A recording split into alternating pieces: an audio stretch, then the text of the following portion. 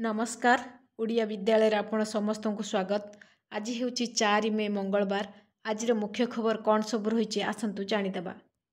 ପ୍ରଥମ ଖବରଟି ରହିଛି ଆସନ୍ତାକାଲିଠାରୁ ସାରା ରାଜ୍ୟରେ ଲାଗୁ ହେବାକୁ ଯାଉଛି ଲକଡାଉନ୍ ମଦ ଓ ପରିବା ଦୋକାନ ଆଗରେ ଅସମ୍ଭାଳ ଭିଡ଼।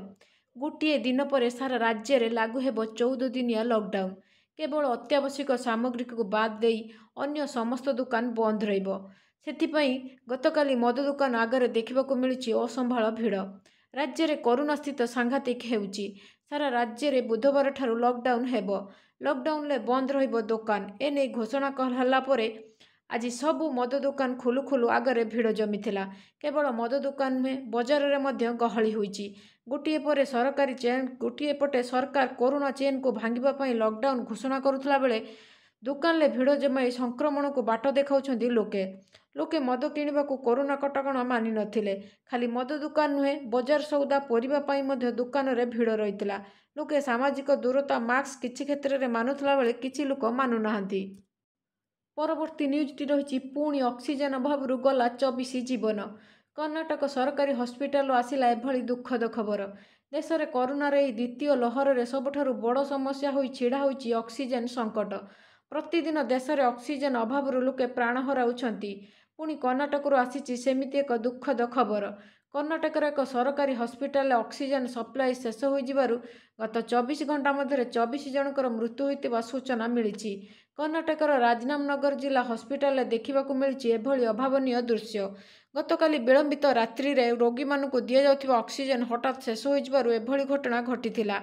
ଘଟଣା ପରେ କର୍ଣ୍ଣାଟକ ମୁଖ୍ୟମନ୍ତ୍ରୀ ବିଏସ୍ ୟେଦୁରପ୍ପା ରାଜନାମନଗର ଜିଲ୍ଲା ହସ୍ପିଟାଲ ଯାଇ ସ୍ଥିତି ସମୀକ୍ଷା କରିବା ସହିତ ମୃତକଙ୍କ ପରିବାରବର୍ଗକୁ ସମବେଦନା ଜଣାଇଛନ୍ତି। ପରବର୍ତ୍ତୀ ନ୍ୟୁଜ୍ଟି ରହିଛି ଚାରି ମାସ ପାଇଁ ସ୍ଥଗିତ ହେଲା ନିଟ୍ ପିଜି ପରୀକ୍ଷା। କରୋନା ଡ୍ୟୁଟିରେ ନିୟୋଜିତ ହେବେ ଏମ୍ବିବିଏସ୍ ଛାତ୍ରଛାତ୍ରୀ। ପ୍ରଧାନମନ୍ତ୍ରୀଙ୍କ କୋଭିଡ୍ ସମୀକ୍ଷା ପରେ ଗୁରୁତ୍ୱପୂର୍ଣ୍ଣ ନିଷ୍ପତ୍ତି। ଚାରି ମାସ ପାଇଁ ସ୍ଥଗିତ ହେଲା ନିଟ୍ ପିଜି ପରୀକ୍ଷା। କରୋନା ଡ୍ୟୁଟିରେ ନିୟୋଜିତ ହେବେ ଏମ୍ବିବିଏସ୍ ଛାତ୍ରଛାତ୍ରୀ। ଦେଶରେ ବଢ଼ୁଛି କରୋନା ସଂକ୍ରମଣ। ବଢ଼ୁଥିବା କରୋନା ସଂକ୍ରମଣକୁ ନଜରରେ ରଖି ନିଟ୍ ପିଜି ଦୁଇ ହଜାର ଏକୋଇଶକୁ ଅତି କମ୍ରେ ଚାରି ମାସ ପାଇଁ ସ୍ଥଗିତ କରାଯାଇଛି। ପ୍ରଧାନମନ୍ତ୍ରୀଙ୍କ ସମୀକ୍ଷା ପରେ ଏହି ଘୋଷଣା କରାଯାଇଛି। ଦେଶରେ ବଢ଼ୁଥିବା କରୋନା ସଂକ୍ରମଣ ଦୃଷ୍ଟିରେ ରଖି ଏହି ନିଷ୍ପତ୍ତି ଗ୍ରହଣ କରାଯାଇଥିବା ଜଣାପଡ଼ିଛି।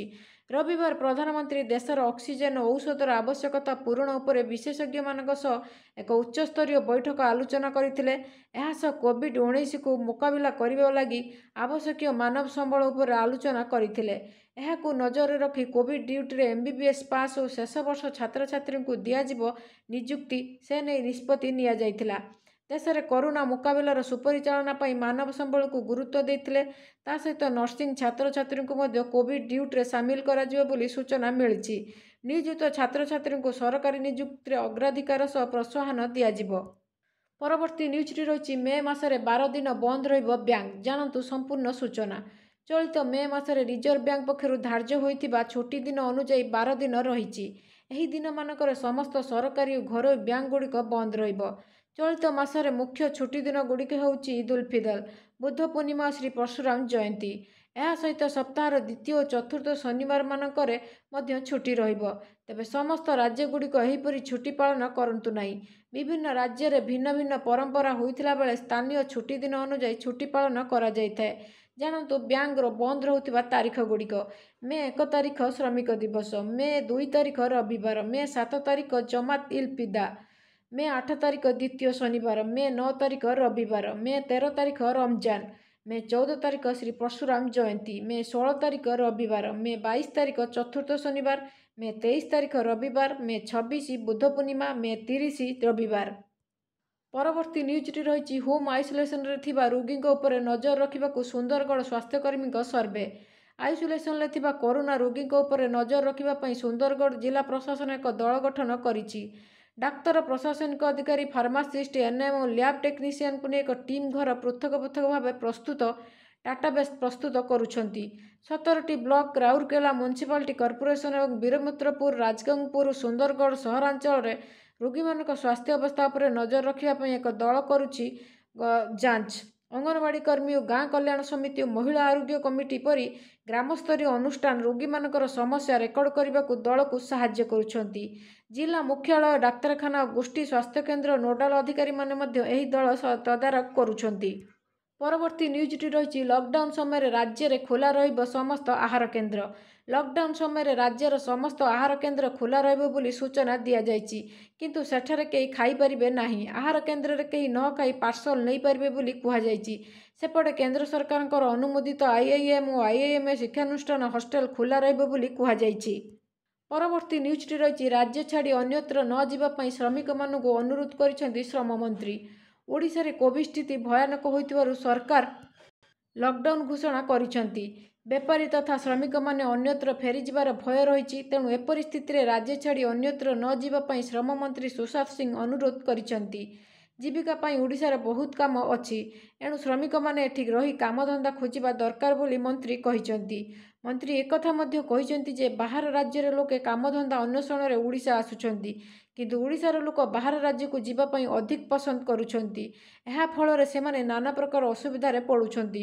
ଲକଡାଉନ୍ ସଟ୍ଡାଉନ୍ ହେବା ପରେ ବିକଳରେ ଘରକୁ ଫେରୁଛନ୍ତି। ଏଥିପାଇଁ କିଛି ଦଲାଲ ମଧ୍ୟ ଦାୟୀ। ତେଣୁ ଦଲାଲମାନଙ୍କର କାର୍ଯ୍ୟକଳାପ ଉପରେ ସରକାର ନଜର ରଖୁଥିବା ମନ୍ତ୍ରୀ କହିଛନ୍ତି ତେଣୁ ଶ୍ରମିକ ଓ ତାଙ୍କ ପରିବାରମାନେ ଦଲାଲମାନଙ୍କ କଥାରେ ପଡ଼ି ନିଜ ଗାଁ ଛାଡ଼ି ବାହାରକୁ ନ ଯାଆନ୍ତୁ ବୋଲି ମନ୍ତ୍ରୀ ସୁଶାନ୍ତ ସିଂ କହିଛନ୍ତି। ପରବର୍ତ୍ତୀ ନ୍ୟୁଜ୍ଟି ରହିଛି ପୁଣି ଘୁଞ୍ଚିଲା ପିପିଲି ଉପନିର୍ବାଚନ। ଆସନ୍ତା ମେ ଷୋହଳ ତାରିଖରେ ପିପିଲି ଉପନିର୍ବାଚନକୁ ପୁଣି ଥରେ ଘୁଞ୍ଚାଇ ଦେଇଛନ୍ତି ଭାରତୀୟ ନିର୍ବାଚନ କମିଶନ। କାଲି ସନ୍ଧ୍ୟାରେ ଏକ ବିଜ୍ଞପ୍ତି ଜାରି କରି ଭାରତୀୟ ନିର୍ବାଚନ କମିଶନ ଏହି ସୂଚନା ଦେଇଛନ୍ତି। ରାଜ୍ୟ ନିର୍ବାଚନ କମିଶନ ଦେଇଥିବା ରିପୋର୍ଟକୁ ଭିତ୍ତି କରି ଏହି ନିଷ୍ପତ୍ତି ନିଆଯାଇଛି। ଓଡ଼ିଶାରେ ଏବେ ଦୁଇହଜାର ପାଞ୍ଚ ବିପର୍ଯ୍ୟୟ ପରିଚାଳନା ଅଧିନିୟମ ଅନୁଯାୟୀ ଲକଡାଉନ୍ ଲାଗୁ ହୋଇଥିବାରୁ ନିର୍ଦ୍ଧାରିତ ତାରିଖରେ ହେବାକୁ ଥିବା ନିର୍ବାଚନକୁ ସ୍ଥଗିତ ରଖିବାକୁ ନିଷ୍ପତ୍ତି ନିଆଯାଇଛି। ତେବେ ପରବର୍ତ୍ତୀ ସମୟରେ ମହାମାରୀ ପରିସ୍ଥିତିକୁ ଅନୁଧ୍ୟାନ କରି ନିର୍ବାଚନ ନେଇ ବିଜ୍ଞପ୍ତି ପ୍ରକାଶ ପାଇବ ବୋଲି ସୂଚନା ରହିଛି। ପରବର୍ତ୍ତୀ ନ୍ୟୁଜ୍ଟି ରହିଛି ସିଟି ସ୍କାନ୍ କରାଇପାରେ କର୍କଟ। ସତର୍କ କରାଇଲେ ଦିଲ୍ଲୀ ଏମ୍ସ ନିର୍ଦ୍ଦେଶକ। ଯେଉଁମାନଙ୍କଠାରେ କରୋନାର ସାମାନ୍ୟ ଲକ୍ଷଣ ଦେଖାଯାଉଛି ସେମାନେ ସିଟି ସ୍କାନ୍ କରିବା ଆବଶ୍ୟକ ନାହିଁ ବୋଲି କହିଛନ୍ତି ଏମ୍ସ ନିର୍ଦ୍ଦେଶକ ରଣଦୀପ ଗୁଲେରିଆ। ଗତକାଲି ନୂଆଦିଲ୍ଲୀରେ ଏକ ପ୍ରେସ୍ କନଫରେନ୍ସ ସମୟରେ ସେ କହିଛନ୍ତି ଯେ ଅଧ୍ୟୟନରୁ ଜଣାପଡ଼ିଛି ଯେ ତିରିଶରୁ ଚାଳିଶ ପ୍ରତିଶତ ଲୋକ ସାମାନ୍ୟ ଲକ୍ଷଣ ଥାଇ କରୋନା ସଂକ୍ରମିତ ଚିହ୍ନଟ ହେବା ପରେ ସେମାନେ ସିଟି ସ୍କାନ୍ କରାଇ ନେଉଛନ୍ତି। ସେମାନେ ଏହି ସାମାନ୍ୟ ଲକ୍ଷଣକୁ ବିନା ଚିକିତ୍ସାରେ ଠିକ୍ ହୋଇଯିବ ବୋଲି କହିଛନ୍ତି। ଏହା ସହିତ ସେ କହିଛନ୍ତି ଗୋଟିଏ ସିଟି ସ୍କାନ୍ ତିରିଶ ତିନିଶହରୁ ଚାରିଶହ ଏକ୍ସରେ ସହିତ ସମାନ ଏବଂ ଏହା ପରବର୍ତ୍ତୀ ସମୟରେ କର୍କଟ ରୋଗ ଭଳି ସମସ୍ୟା ସୃଷ୍ଟି କରିପାରେ ବୋଲି ସେ କହିଛନ୍ତି।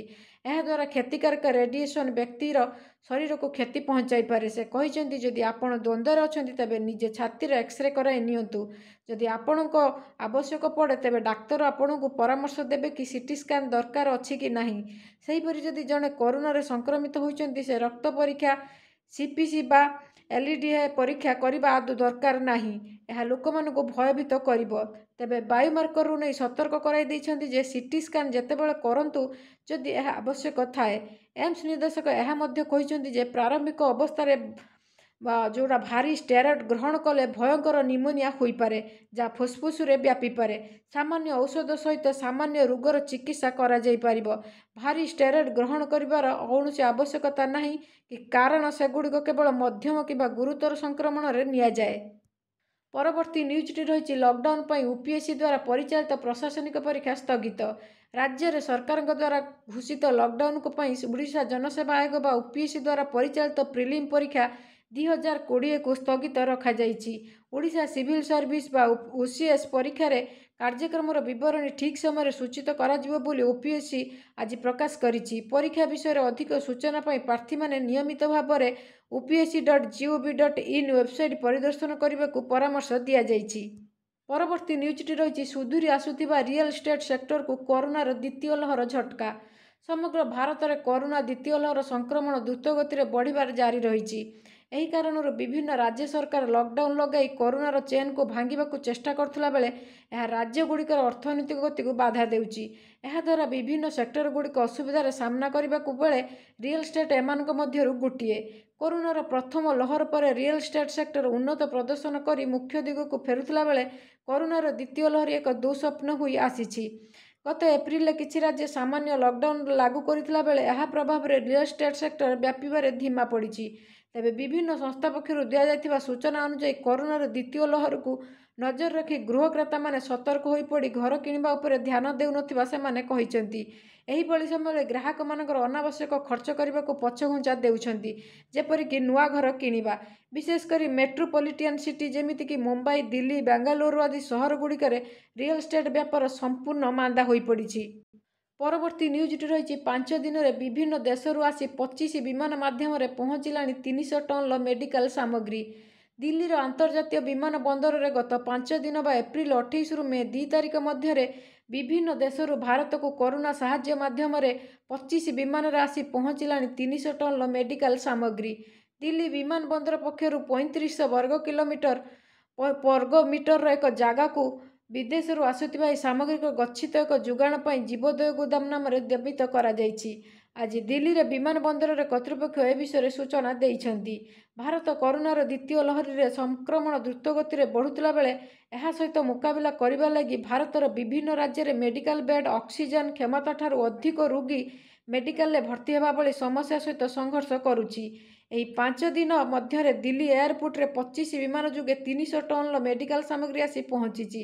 ବିଭିନ୍ନ ଦେଶଗୁଡ଼ିକ ଯଥା America Britain Russia Thailand Qatar Hong Kong China ଭଳି ଦେଶରୁ ମେଡିକାଲ ସାମଗ୍ରୀ ସବୁ ଆସିବାରେ ଏୟାରପୋର୍ଟ ଅଧିକାରୀ ଏକ ବିଜ୍ଞପ୍ତି ଜାରି କରି ସୂଚନା ଦେଇଛନ୍ତି। ପରବର୍ତ୍ତୀ ନ୍ୟୁଜଟି ରହିଛି ପାଞ୍ଚଶହ ଦଶ କୋଟିରୁ ଉର୍ଦ୍ଧ୍ୱ ମୂଲ୍ୟର ଔଷଧ ଭାରତ ପଠାଇବ ଫାଇଜର।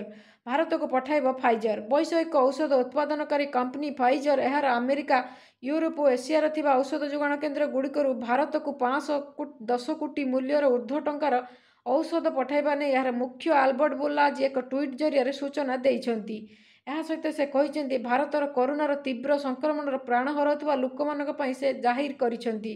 ଭାରତରେ ଏହି ରୋଗ ବିରୁଦ୍ଧରେ ସଂଗ୍ରାମରେ ଆମେ ଭାରତ ସହିତ ଏକ ସହଯୋଗୀ ଭାବରେ ଆମେ ସବୁବେଳେ ଅଛୁ ଏବଂ ଆମେ ପ୍ରଦାନ କରିଥିବା ଏହି ଔଷଧ କମ୍ପାନୀ ଇତିହାସରେ ସବୁଠୁ ବଡ଼ ମାନବିକତା ସାହାଯ୍ୟ ବୋଲି କମ୍ପାନୀର ସିଇଓ କହିଛନ୍ତି।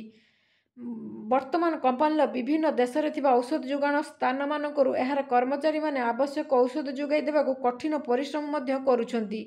ସେ କହିଛନ୍ତି ଆମେ ଏହି ଔଷଧଗୁଡ଼ିକ ପ୍ରଦାନ କରିବାର ମୁଖ୍ୟ ଉଦ୍ଦେଶ୍ୟ ହେଉଛି ଭାରତରେ ସଂକ୍ରମିତ ହୋଇଥିବା ପ୍ରତ୍ୟେକ ରୋଗୀଙ୍କ ପାଖରେ ଏହି ଔଷଧ ପହଞ୍ଚାଇବା ପାଇଁ ଆମର ଲକ୍ଷ୍ୟ। ତେବେ ଏହି ଔଷଧଗୁଡ଼ିକୁ ଆମେ ତୁରନ୍ତ ଯୋଗାଇ ଦେବାକୁ ଭାରତ ସରକାର ଓ ଆମର ସହଯୋଗୀ ଏନ୍ଜିଓମାନଙ୍କ ସହିତ କାର୍ଯ୍ୟ କରୁଛୁ। ଯେଉଁଠାରେ ଔଷଧଗୁଡ଼ିକର ଆବଶ୍ୟକତା ହେବା ହେବ ସେଠାରେ ପହଞ୍ଚାଇବାକୁ ଚେଷ୍ଟା କରିବୁ। ଏହା ଥିଲା ଆଜିର କିଛି ମୁଖ୍ୟ ଖବର।